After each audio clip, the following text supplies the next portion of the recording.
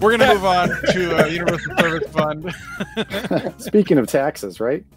right so uh, you know this is this is the thing in which you know casey i didn't um, i didn't tell you this but i am desperate for someone to explain to me the difference between a fee and a tax uh, aside from it being whatever the judge doesn't want it to be like yeah. you know flipping a coin um, but the the short story is universal service fund uh, there's been multiple lawsuits we've talked about this Congress told the Federal Communications Commission figure out how to accomplish these goals serving these populations. I'm not going to get too deep into it, uh, but there is a fund, and the Federal Communications Commission handed off administration of that to a uh, different entity called USAC, the Universal Services Administration Company, and um, and that company makes decisions as to how much to assess companies providing certain kinds of services to pay for other things that Congress told the FCC to do, and that whole setup has been being tested in the courts.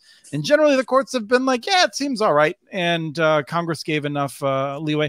But there's several different questions to be resolved. And the Fifth Circuit was like, no, we want to burn it all down. Um, Casey, you can that's fill in. No, I think that's really good. It was in the Fifth Circuit. So the Sixth Circuit and the Eleventh Circuit and the DC Circuit um, heard cases brought by uh, an organization called Consumers Research. And it's an ideological wow. organization. Um, and uh, all of those courts said, you know, it's okay. We're we're we're okay with it. Um, universal service uh, contribution uh, is a fee, not a tax, as we and other courts have said for quite some time.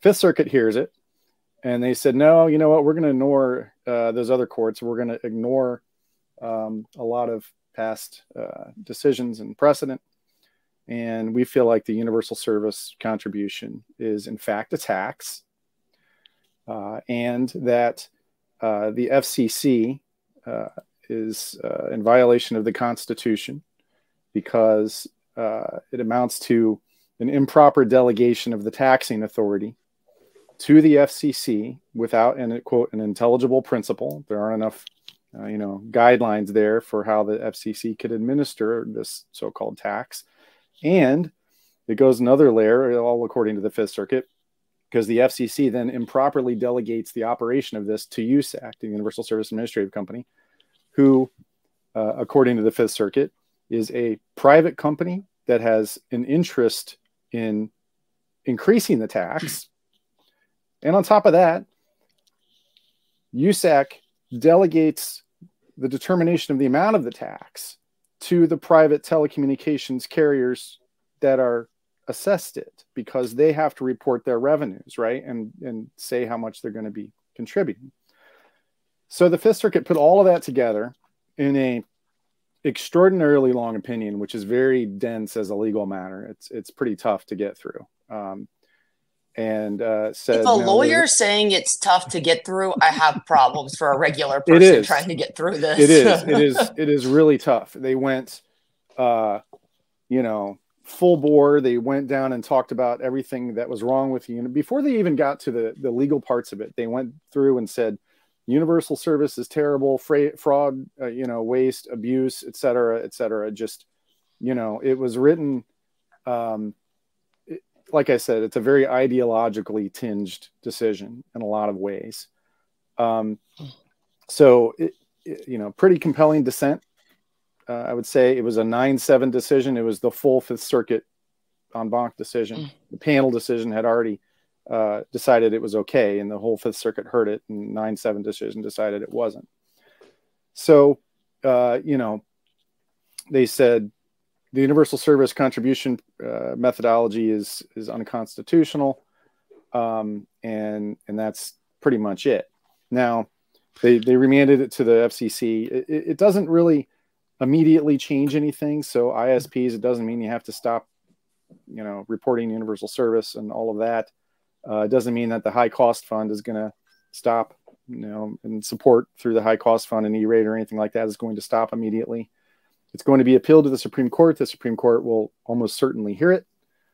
Um, a decision, uh, you know, could be made, assuming they get, you know, their writ of certiorari and uh, you know, pretty pretty soon and everything. That, that, you know, you're looking at middle of next year, June, at the end of the Supreme Court's right before they go on recess in June. Um, I've seen a number of predictions about what the Supreme Court could do with this.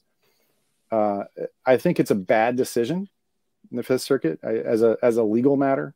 Um, the opinion is, uh, you know, like I said, it doesn't really pay much attention to precedent. It's logically suspect. the Supreme uh, Court's going to love it. well, they might. No, and the Supreme me, Court, right? I mean, right? No, and I, I mean, like it's, it's an ideological decision, and this is an ideologically driven Supreme Court right and, and the the thing is that is that is not that the supreme court makes all of its decisions along predictable ideology it, and that's in some ways harder it's less predictable but uh, before we take uh, I want to get comments from folks, but first, I want to know the same thing that always comes up, which is I feel like for people to understand the importance of this, basically every single company that serves rural customers um, gets support from the high cost fund more or less. You know, like some a lot of the electric cooperatives may not uh, now, uh, a lot of the WISPs may not, but the telephone companies, hundreds upon hundreds of companies, some are family owned, some of them are corporate, they have loans that are dependent on these revenues to pay them off for many years into the future. So this is a huge freaking deal if the courts were to invalidate it and force the FCC to go back to the drawing board. Yeah, the telecom industry just sent a letter or, or posted a letter, uh, you know, saying, you know, to Congress saying after this decision, this fiscal decision, that imploring Congress to do something, imploring Congress to take action, because what would undo this decision is if Congress effectively, you know, ratified what the FCC's approach has been over the last several years. They could do that relatively simply, but you also at the same time have this policy debate that's been going on now for a couple of years about the problems with the Universal Service Fund and the, and the skewed contributions. There's a Universal Service Working Group. And so, you know, US Telecom and others are, are saying this is an opportunity for Congress to fix this and fix this issue. The big, the big incumbents, the big carriers that, you know, huge providers don't want the Universal Service Fund to just go away. You know, I can't think of very many people who want Universal Service Fund to go away, except for the Federalist Society, you know, or, right? I mean, the burn it down people, and and so it's a real problem. You know, it, con- congressional action is going to happen in some way or another, and then meanwhile you have the Loper Bright decision, which makes that very difficult too. So it's a challenging does, situation. How does this play into USF reform? Like, I mean, because you have USF reform happening on one level, and then you have saying it's unconstitutional on the other. So where do you think this is going to meet right. at and, the end well, of the day? This is I mean, we, we have talked about this a little bit. And Casey, I, I'd love to get your comment if I just provide a little bit of background, which is yeah. The FCC can act on USF reform without further congressional authorization. Mm-hmm. However, if the FCC wants to increase this fee or tax um, to uh, uh, Facebook and Google and others, which is broadly popular, um, then Congress would have to act. And so there's a question of like, if there's going to be something that touches USF, then Congress will have to decide the scope of it. Does it just want to mm-hmm. basically say the FCC can do what it's doing, or does it want to provide additional different direction for allowing for greater um, uh, uh, building the base of of mm-hmm. contributions and things like that? So Casey, and then maybe and then uh, Doug after that. No, that's that's a pretty good synopsis, you know. And and this recent the Loper Bright decision, you know, a few weeks ago, invalidating Chevron, made the uh, the made it much more difficult for the FCC and Congress, for that matter, to effectively reform universal service. If if Congress is going to reform the Universal Service Fund, then under Loper Bright, they need to be really detailed in the statute about how to do it the FCC is very limited, uh, in my opinion, now about what they can do to effectively reform it, with because they'll get sued based on the Loper Bright mm-hmm. decision. Mm-hmm. So you have this reform need for reform, and now you have a circuit court decision saying the whole thing is invalid. Mm-hmm. And and so uh, you know it's a really hard situation. Okay, I do have one last yeah. legal beagle question for you. Supreme Court says we're not going to accept it. We're just going to let the Fifth Circuit decision stand. Can a different circuit be like, you know what, we we overrule the Fifth Circuit? Like how? Not at that or, or can the, the FCC Supreme... just not tax within the Fifth Circuit jurisdiction? Like how does this all come together? Now, if there's a split in the circuits like this, generally it's gonna nothing's gonna happen. It'll be stayed until they you know get it to the Supreme Court. Um, so the Supreme Court will almost certainly the Supreme Court will almost certainly take it then. Yeah, yeah. Okay. yeah, I, I, have a few comments on it. One is, first off, electric co-ops mostly all get it. This is what pays RDOF. Can you imagine? Right. If, I think. I mean, I think the electric co-ops like only like a quarter of them have RDOF, but yeah, but still a lot. A lot of them do, and and uh, so if next year they invalidated this, folks wouldn't get their last five years of RDOF payments. Can you imagine? Mm-hmm. I mean, all the bank loans based upon that and everything. I mean, this has the big companies are a favor of it because they all collect a lot. This is used to pay broadband bills at schools. All the big carriers get a lot of that money because I mean, it goes to Comcast and Charter and AT and T and everybody else, right? Yeah, nobody wants to see this go away. So, um, you know, it pays for rural health connections. I mean, it pays for the stuff that is ex- that's expensive. Travis has his hand up. We found one person who wants it to go away. I mean, I don't find it elegant. I'm, I'm, I'm probably gonna I'm gonna pre-agree with Travis here.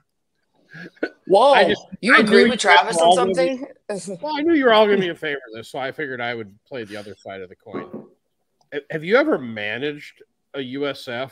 You know, being a USF provider. Surprise, surprise! Mm-hmm. It's an absolute nightmare. Oh, it's Agreed. a paperwork nightmare. Absolute, yes. absolutely agree. Typical government program, we call it the leaky bucket over here, or my but my buddy Jay and I do, where I mean there has been since 2018, I think there's been 18 different rate increases or charges and fees and trying to understand how it works. And then when you're when you're when you're trying to pay fees on circuits that go you know interstate fees how does all that work? I mean you need to have a full-time staff so this really benefits the big guys, Mr. Mitchell, but for the little guys, this is a terrible program the way that it's executed. Well, I it benefits so lawyers. Yeah, I mean, I'll go, yeah, yeah. I'll go. I'll go further than that, Travis. Like, and the lawyer said that, and the lawyer said it benefits lawyers. Yeah, it's shocking. I mean, it needs to be fixed. It needs to be simplified, yeah. right? I mean, well, it was designed so, for phone service. Was not, mean, not designed for broadband. It's pigeonholing terms that were used in the Telecom Act of '96, mm-hmm, mm-hmm. which was terrible timing to have a Telecom Act.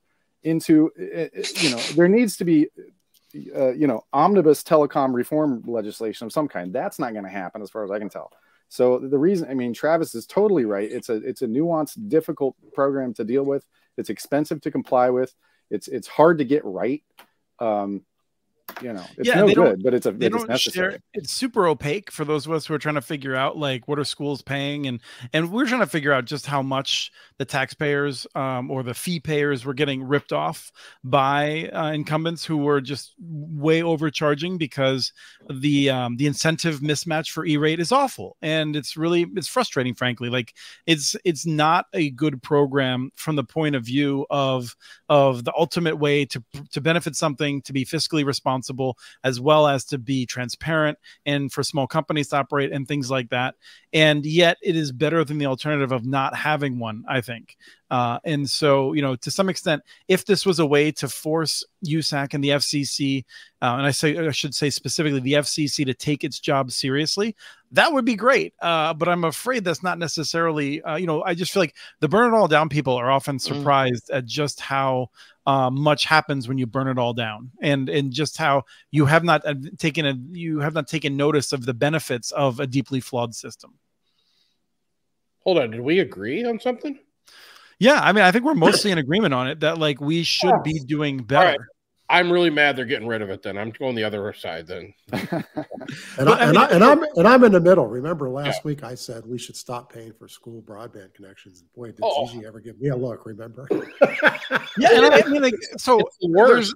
Well, Chris, Chris, might right. This might be Chris's, you know, educated version. This will be my uneducated version. It de-incentivizes schools from ever looking for a deal. They don't care. They're like, oh, it's E-rate. Uh, they don't care what it costs. It is that is the case in many districts, and it's frustrating. Um, so uh, I I would agree with that. On the other hand, um, E-rate is also paying for uh, you know the Wi-Fi in the schools and things like that that aren't as long term and uh, might need service contracts. So um, I don't want to I don't want to paint with too broad of a brush in, in this case.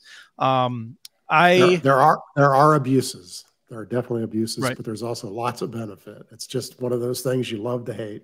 So hate let's do love. it. Let's do what Jay yep. said. Just make it easy, make it a fixed rate, and we don't have we don't have to chase around every week what it, what the new version is and how to pay, how to pay it. Well, the simplest approach it seems What to is is, is Jay trying is Jay trying to put Casey out of work here? I I don't know. Yeah. So, It's, it's it's the inferior versions of Casey that are under threat, not Casey. but but I, I do have a question on this. Do you think the ILECs who are dependent on this USF funding are like shaking? Like, well, because what if it goes away, right? What's happening to some of those carriers who do get it? And a lot of rural carriers do get USF funds. Are do we hear any of the what they are saying about this? Because I haven't heard anything. They yet, want but- Congress to do something. They want Congress to, Yes. to reform the FCC and bring in the content providers, bring in the Netflixes, and and quote pay their fair share. Um, you know, they say, well, if you if you if you reform universal service by assessing by bringing broadband into it, then you're just causing consumers to pay that that additional Mm. fee. Consumers are going to pay the fee anyway. Look, if you They're if always you, if you put it on Netflix or whomever, then your Netflix bill is going to go up. You know, it- it- Right. so Mhm. I think the the argument is uh, so Casey is so mad he's not going to listen to the rest of the show. you know. um i think you know i, I do want to say that like i feel like um the argument of of increasing it on netflix and others is in part that at that point you're talking about an increase on a monthly household bill across everything by like a buck or two rather than potentially three or four um in other ways and we've i've talked about this in community broadband bits if you look back at the show with uh, mike romano uh, we went through uh, a lot of this in community broadband bits uh, for different scenarios so um, and I, I would say that one of the things that I would urge Congress to do, since I'm so influential with with those folks, the 535 people hanging on my every word, um, would be if you're going to assess it, let's assess three big guys or four big guys. Don't assess, you know, like all these small companies and force them to pay in. Uh, set the limit very high, so we're hitting Amazon, Facebook, Google, maybe Netflix, Apple, Microsoft, perhaps. But beyond that, nothing. Like just keep it simple and keep it high level. Yeah, Well, because where do you break it off for content providers? It could go way down the hill. Revenues that are very high. the content providers are already paying though. Right. But I, the question, though, so Netflix and uh, and uh, like Amazon are not paying into USF today. Sure, they are. No, they're not. They, they buy transport circuits to bring If- their content around the nation, and And they're and, paying you have, that. have USF attached to that. but not paying for USF though. They're not like they're paying. So, Yeah. so like they're they're paying for some services. I think the argument is, and I and I if I had to guess, I mean, you can tell me I'm wrong. Um, it would be a first time, obviously, but um, but over time they're doing less and less of leasing of those sorts of transport circuits and Right. building their own fiber. Most of their traffic has to be going over their own networks internally now before it hits the others. No. No, they don't. I'm they wrong. don't. They No, do no. not have nationwide. Sir, they do not have nationwide. they buy Hey, guys, guys. circuits. We just heard Chris Mitchell say he was wrong for the first time just now. My confidence is shattered. I don't know what to do. I can someone Okay. else end the show for me? And, and I would, and I would argue they're paying more all the time because they're buying more and more and more circuits to bring because they're because Right. their the usage of their content is going up and up and up. I'm so confused. I feel like Facebook is building networks freaking everywhere, and and Amazon They are they're all not. building. No, th- no, They're no. building. They're, they are putting some money into underwater cables to get the Yeah. Europe, but they're not building much in the U.S. No. Facebook was just building through West Virginia. I mean, I just like seven years ago, and they like did this whole thing about how they were gonna bundle the dark fiber and make it available to ISPs and and stuff like that. Like, um, But they and didn't I mean, do like, it. Like Arcadian Infracom like is out there building uh, for these data centers from data center to data center. Lumen is okay. Well, here I here I am. So if Lumen's building one of so Lumen's stock price just went up again. I don't know if anyone else is paying attention. I don't know. I was just coincidence. Hey, hey, Um, hey, hey! But I just want to make. I have, we have to ask a question before you go any further. Are you upside down on Lumen still, or are you still doing pretty well? I think I bought it at five. um, they um they um but they just they're doing a bunch of data center stuff now, right? For um um Right. and now so are those new links that if Lumen is building are those all assessed under USF? Yes, Sure, sure. because they're interstate traffic. Yeah, Mm. Okay. yeah. You, you would probably be. I bet you'd be surprised how much like Google. Jay, hold on. Here we go. Is Jay right here? Because this is this is what I was thinking. Dark fiber is, but Yeah, that's what they're getting, right? Who's buying a lit circuit from Lumen? necessarily. No, Chris, they're they just- getting- they Okay, had- all right, hold on, hold on. Casey knows actually. Chris- Casey, Casey Chris, said Lumen not is- necessarily, and that is lawyer for almost certainly not. No, they're they're my. I don't think they're getting as much dark fiber. They're getting they're getting transport, you know, to a large extent with the data center circuits in the middle mile. Yeah.